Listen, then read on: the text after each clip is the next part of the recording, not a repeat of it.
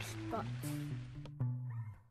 How's it going? This is Ricardo, and in this video, I'll show you how to remove the memory from a Dell Alienware 15 version R2. If you're looking for parts for this laptop, go to our website and use this coupon for a 5% off discount.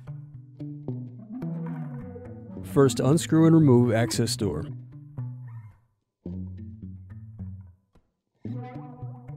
Now unplug battery. Then separate clips and remove memory. Need more? Check out these other tutorials. For batteries, click here. For hard drives, click here. For wireless cards, click here. Thanks for watching. If you enjoyed this tutorial, give this video a like and subscribe to our YouTube channel. Check the video description below for links to written tutorials and replacement parts.